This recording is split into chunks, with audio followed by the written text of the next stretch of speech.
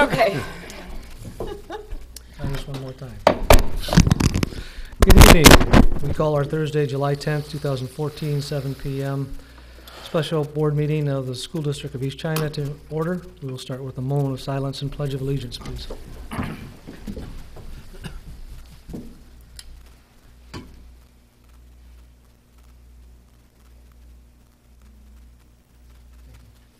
Pledge allegiance to the flag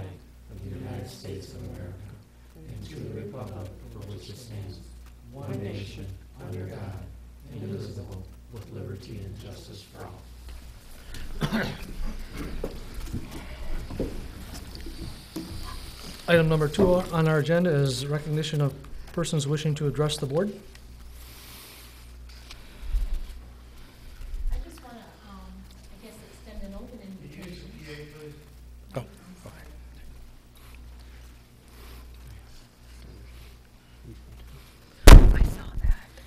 I would just like to extend an open invitation to uh, the board. I- Dr. Skalka is not going to be in town, but on Thursday, the 17th, we're hosting the 2014 Special Needs uh, Transportation Expo, um, and it's going to be really cool. So I w- I really hope that you guys would be able to make it out. I do have a printout of some of the materials if anyone would like to see them tonight. You can, you may take this with you and I can get you additional copies. Thank you. I saw that on the website. I'm gonna be out of town that day. I'm sorry. What's the time? Is that, All day. is that eight in the morning, I think you said it started? The, the actual extrication, working with the, the fire departments and, and St. County SWAT team, that will start at nine o'clock.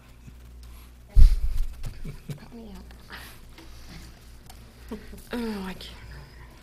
And that's gonna be at the Marine Marine City City. Middle School? Marine City Middle School, and we're going to be doing that in the back parking lot, the student parking lot. Um, we needed room for the helicopter to be able to come down and land. How cool. So, So um, really the high school. That will start at nine o'clock, go till about nine, nine-thirty. Um, we're doing a little bit of, uh, the SWAT team is actually, the scenario is that the bus was hijacked. And the SWAT team is gonna have to come in and negotiate them, the student or the hijacker off the bus. And then, it, it's, it's gonna be really cool, so it's, it's gonna be something kinda really fun to see, so. Does And somebody it provides videotape valuable that? training. Pardon me? Does somebody videotape that or? Well, I'm hoping. Okay. Um, we do, this is all on volunteers, so if anybody wants to volunteer to come and videotape, I have a bunch of cameras available, and Okay. So we'll, I, Just I kinda try to put it out designate there. out, because I, you know, it's all, like, again, I- all volunteers, so who's ever there and can do it. Okay. I know, I know that uh, Director of Operations Kirk Grizelka plan, has been working Yes. very closely with Ms. Pettigan, Mrs. Metapetigan, and it plans to be there the whole day. Um, And we've asked uh, Mr. Headley to also go and take some pictures. We wanted some stills. If we can also get some video, that'd be great. Um, I can maybe contact Scott Whiting. He does a lot of videography for the district. Okay, yeah, that would be cool. Okay. All right, thank you. Yeah. Thank you. Information discussion items is a preliminary qualifying application. It's the single item agenda that we're here for tonight. Um, I'll let Ms. Weglars briefly speak to it. Good evening, Board. Um, What you have um, is a copy of the pre-qualification application, and that is for the proposed bus bond. And what this application um, is doing, it is requesting from the state to utilize their, their rating, allowing us to obtain a lower interest rate that would lessen the burden to the community. Um, There are several items that we had to complete in the application. Um, It went through defining the project. Um, It required pupil enrollment, um, current status, and then out to five years. Um, It looked at the, the, the the utilization for each school. Um, It wanted a summary of all our facilities. Um, And on Tuesday, we had uh, compiled all the information, and we had a conference call with the uh, Michigan State Treasury to review that. They did have some, some changes that they wanted us to make, and we have um, updated them in that application. Um, And now that is, what is left, it's requiring the board approval um, and some signatures so that we can overnight it to the state, and they will make their final determination based off of the information in the application. What is, what is the, the difference between our, what credit will cost us and what it costs the state? I don't have that exact answer, and I apologize for that. Um, I know that our current rating right now with Standard and Poor's is at a um, double A minus. Um, The state rating is higher than that. Um, The last time the school district obtained a rating was two year, ago- two years ago, but we have incurred two decreases in our fund balance. So it would most likely be reduced from that. So it was in our best interest to try to obtain the current state rating, um, which would allow us to, um, to, to get the best rating, which I, is just under four percent. Thank you. The, uh, refresh now, this is five buses per year for five years. And how long is this, is this a 10-year payoff or This is a seven point three, or they round this off into a eight-year bond. eight-year bond? The final payment would be 2021. That would be con- concurrent to our existing bonds that are outstanding today. Okay, so it's an eight-year, Just making sure, we, we talked about a 10-year um, tax cycle, though. That is So- correct, um, Dr. Skalka. Um, How the, how the taxes are actually um, levied is that we need to start um, the tax cycle a little bit in advance because we have to build up a little bit of pooled cash. So the first tax, tax levy would, um, would collect a very minor amount so that we can make the first payment, which is normally an interest payment, um, until it ramps up to the full bond payments in the following year.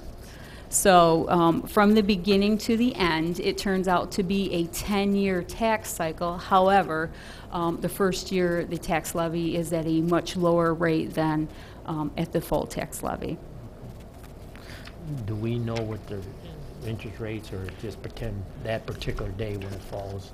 Are they saying like a 4% rate, rate, or is it hard to? I I think he's asking, is it variable or is there a set rate? It is a variable rate, um, but right now, it's only at a projected rate, um, which is, I I believe it is 3.9%, if my memory is um, It- That's what it says here on the proposed bond issue. Correct. And until the, until the bond is actually sold, that rate is, is projected until that date, and depending on what the rate is on that day. Based, I just passed out to you some information, uh, very general information, but based on what we were given uh, in our conversations with um, our bond attorney, our bond broker, and, and the Department, and the F- Department of Treasury, um, you can see that the initial uh, is .05 mils, or the equivalent of 5 cents on every $1,000 of proper, taxable property value. So in, in essence, um, the, the tax impact is two dollars and fifty cents on a hundred thousand dollar home in the first year. That tax impact um, grows to a maximum of nineteen fifty before falling down. But because this is part of our total debt, and because the other bonds that the district holds has a similar cycle in which it ramps up and then comes down, you can see that the total tax impact on the side um, increases by 250 that first year and then stays constant and never goes above that in terms of a total tax impact. This is information that um, in, a, in a larger uh, meeting that I want to make sure that we present to the community Right. and visuals and all. But for tonight's purposes, I just wanted to make sure that you saw that. Okay. The application we have in front of us is the new um, revised after the phone call from, mm-hmm. Yes, thank you. it is. Any other questions? Thank you. Next me- item on the agenda is the action item. Per administration recommendation, the Board of Education approves the application for preliminary qualifying of bonds as presented and reviewed. Motion needed. So move. Moved by Mr. Folsky, Support. support by Mr. Kenneckbauer. Comments, questions? What, uh, what's the next step after this? Um, After this, again, If we we- we overnight it uh, to Treasury tomorrow, um, at which point, once they uh, give final approval to this, we will have another special meeting in August, at which time you will approve the actual ballot language. Okay, Um, And we have to have a special meeting in August because of timelines again, just like this timeline. correct. Um, That was on that uh, timeline schedule I gave you. Okay. You'll approve the ballot language, and from there, uh, we're a go to November. Um, it- uh, Along with the ballot language, um, it will be important that the board actually calls the election, your vote to, to- for the election to occur. Um, Following the meeting, I'll take that information up to the county clerk, and that will give them the final approval to put it on the ballot. Okay. Okay. And do we know who the, who the team will be that's working on the ballot language? Um, That was uh, Chris Imarino, who is uh, an attorney at Thrun. You- He's already given us draft ballot language that was shared with the Department of Treasury, because they have to okay it as well. I believe that is on page three of your packet. I did provide um, the proposed ballot language. And that was drafted by the, the legal counsel. Mm-hmm. Just the informational only? Mm-hmm. Okay. I read Yeah, it. This, this right here? Right. Okay, I read that. Mm-hmm. All right, any other questions? Hearing none, all those in favor signify by saying aye. Aye. Aye. Opposed, same sign. So moved and carried. We stand adjourned. Thank you.